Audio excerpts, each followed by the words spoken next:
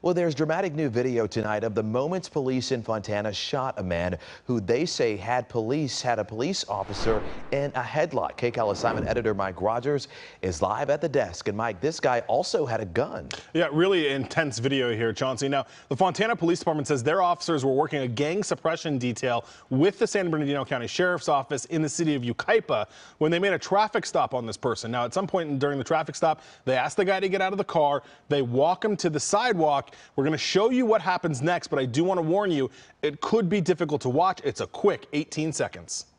What's this right here? My gun. He's got a gun! Let it go! Let it go!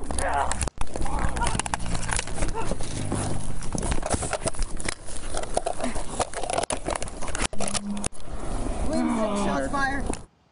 Yeah, you hear it there. He says, uh, she asks him, what do you have there? He says, my gun, and then puts her into a headlock here. I slowed down the video from her partner and freeze it here. You can see him holding her in a headlock there. Now, that is when the partner officer, according to the Fontana Police Department, fired one round and struck the suspect in the jaw. Fontana police say that is the gun that they ended up recovering off of the guy. Now, after the guy was shot, he was rushed to an area hospital, Chauncey, where he actually survived those injuries despite being shot in the face. Mm, what a scene there, Mike. Yeah. Thanks.